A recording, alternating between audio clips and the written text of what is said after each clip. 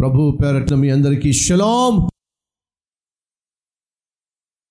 బుద్ధి లేని వాణి ఇంటి చుట్టూ ఏమొచ్చిందట? వరదలు. బుద్ధి లేని వాణి ఇంటి మీద ఏం విసిరిందట? గాలి విసిరి ఆ ఇంటి మీద కొట్టెను. అంటే అర్థం ఏమిటి? బుద్ధి లేని వానికి ఎన్ని కష్టాలు వచ్చినాయో బుద్ధి కలవానికి కూడా అన్నే కష్టాలు వచ్చినాయి. ఒప్పుకుంటారా? బుద్ధి లేని వానికి ఆత్మీయత లేని వానికి దేవుని యొక్క మాట అయితే వింటాడు కానీ క్రియల్లో పెట్టలేని వానికి ఎన్ని కష్టాలు వచ్చినాయో అన్ని కష్టాలు కూడా ఆత్మీయునికి వచ్చినాయి బుద్ధి కలవాడికి వచ్చినాయి. అంటే అర్థమేమిటి ఆత్మీయత లేని వారికి సాధారణంగా ఏ ఏ కష్టాలు వస్తున్నాయో ఆత్మీయత కలవారికి కూడా సాధారణంగా ఆ కష్టాలు వస్తాయి. ఈ సత్యాన్ని మర్చిపోమాకండి. ఎవరైనా యేసు నమ్ముకుంటే ఈ కష్టాలు వచ్చేవి కాదుగా?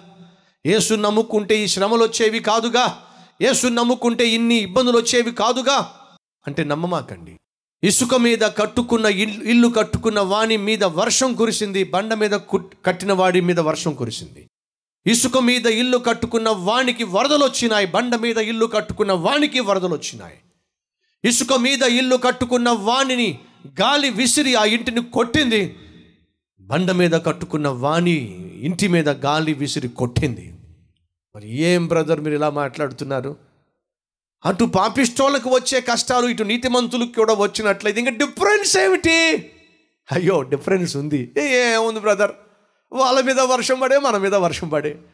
వాళ్ళకు వరదలు వచ్చే మాకు వరదలు వచ్చే. వాళ్ళు వాళ్ళకి గాలి విసిరే మాకు గాలి విసిరే. ఇంక ఏముంది బ్రదర్ దేవుణ్ణి నమ్ముకోవడం వల్ల? భలే వాళ్ళు బ్రదర్. చివరన జరిగింది ఏమిటి బుద్ధిహీన ఇంటి మీద వర్షము వరదలు గాలి. నీతిమంతుని ఇంటి మీద వర్షము వరదలు గాలి. బుద్ధిహీనుని ఇల్లు కుప్పకూలిపోయింది. నీతిమంతుని ఇల్లు నిలబడిపోయింది. దట్స్ అ డిఫరెన్స్ అది తేడా. బుద్ధిహీనునికి కష్టం వస్తే వాడు పడిపోతాడు. బుద్ధిహీనునికి శ్రమలు వస్తే వాడు పడిపోతాడు. భయపడిపోతాడు. నిరుత్సాహపడిపోతాడు. కృంగిపోతాడు నిరసించిపోతాడు అల్లాడిపోతాడు అడుగంటిపోతాడు.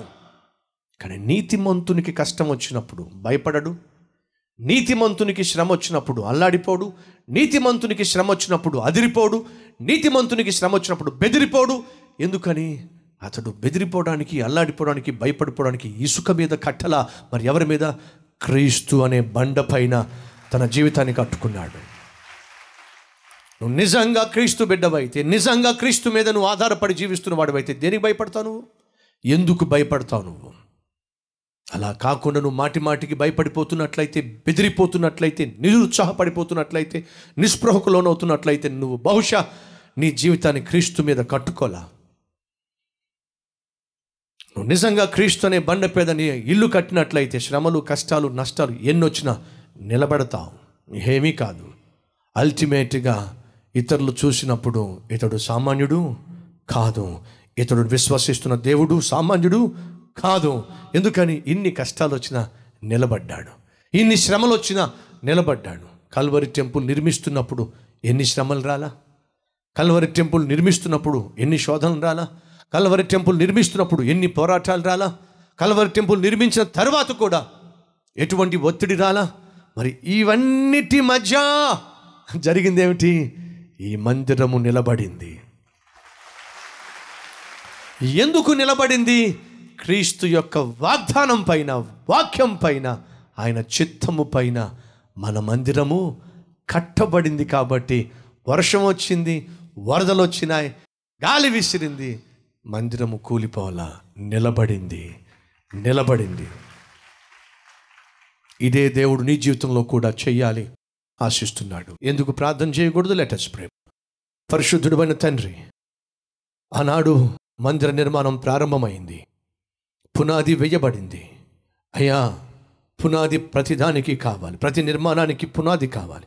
మా జీవితం నిర్మించబడాలన్నా మా ఆత్మీయత మా కుటుంబము మా మాకివ్వబడిన ప్రతి పని ఒక చక్కని రూపం కలిగి నిర్మించబడాలంటే పునాది కావాలి. ఆ పునాది క్రీస్తై ఉండాలి. క్రీస్తు అనే బండ పైన మా జీవితాలు కట్టబడితే మాత్రమే. అయ్యా మేము నిలబడతాం. శ్రమలు వచ్చిన కష్టాలు వచ్చిన నష్టాలు వచ్చిన ఇరుకు ఇబ్బందులు వచ్చిన నిలబడతాం ఎప్పుడు? క్రీస్తు అనే బండపైన మా జీవితాలు కట్టబడినప్పుడు. అలా కట్టుకునే కృప మాకు దయచేయండి. చేస్తున్నామల్లో వేడుకుంటున్నాం తండ్రి. ఆమెన్.